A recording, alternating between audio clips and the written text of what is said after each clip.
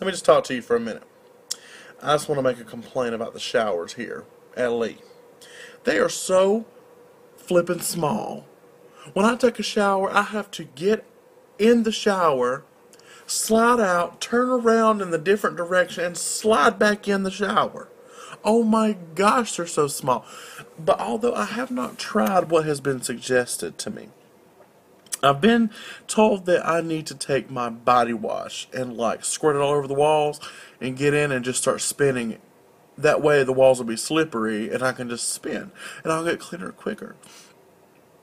I think I'm going to try that next time. Yeah. It might make less water damage to our floor. I'll probably just bought a whole new floor. Mm. It's expensive. It's not like I don't pay twenty thousand dollars a year anyway. I just probably bought a thousand dollar floor. Anyway, y'all have a wonderful night. I promise this is my last video of the night. Um, y'all tomorrow. Bye.